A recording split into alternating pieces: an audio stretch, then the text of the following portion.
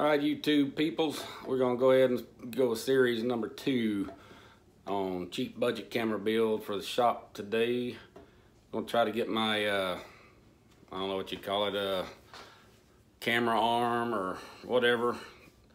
Uh, get that all rigged up so I can take better pictures on the workbench and in the garage. So y'all come on.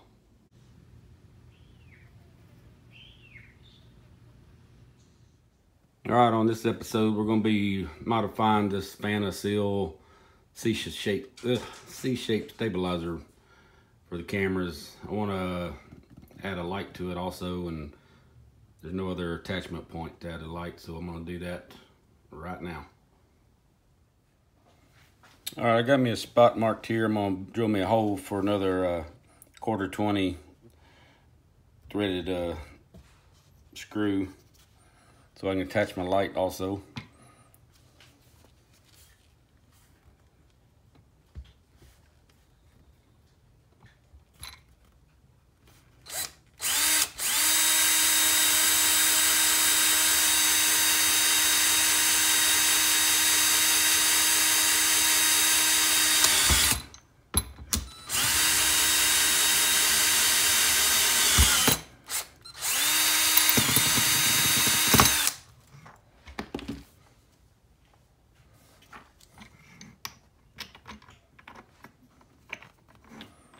There you go.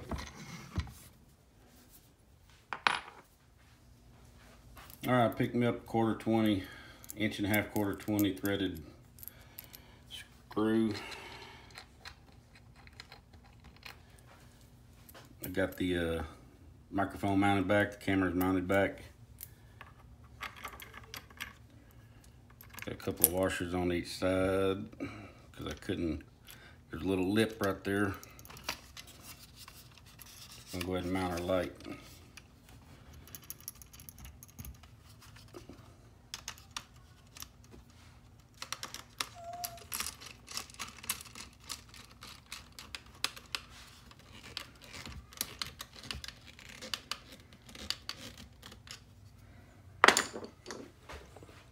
All right, so there you go. We got the light mounted, camera and the mic.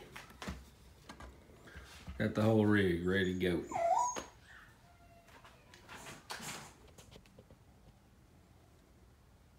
All right, we're gonna move on to the camera arm or boom, whatever you want to call it.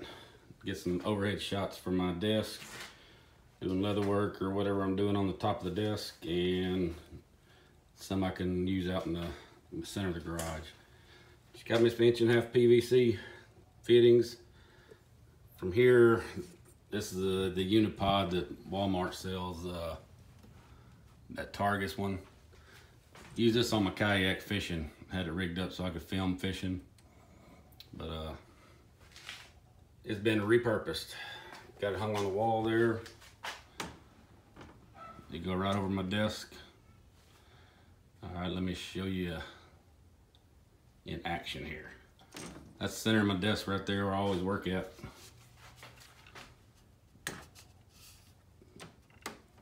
Just quickly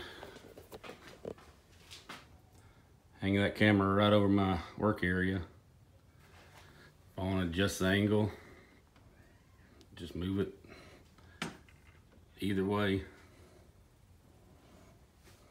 just like that. That's the quickest way. That way I can move from that to uh, right here at eye level. That's where I sit at. So if y'all want to see my pretty face while I'm talking or whatever, I can just set it right there real quick and do it. This moves out of the way either direction. So it's never in my way. And another good thing I'll show you. All right, here's the second setup. Like I said, this whole arm here was my uh, kayak fishing camera stuff has a RAM ball mount right here with the GoPro attachment that attaches to the camera. So if I don't want the mic and the uh, light and all that mess on there and that whole C-rig, I can just bolt it straight to that arm. You can see it's pointing down straight over my desk there. But what you can also do with it, so what, but what you can also do is flip it up re release the uh, extension pole. You can move it.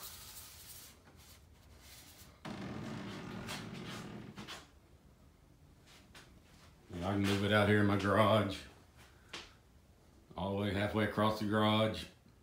Point any direction I want to, what kind of project I'm working on. It holds the camera just fine. It won't hold the whole, it's too heavy. The C-Rig light and the microphone's too heavy, but the uh, RAM ball mount, I hold that just fine, but.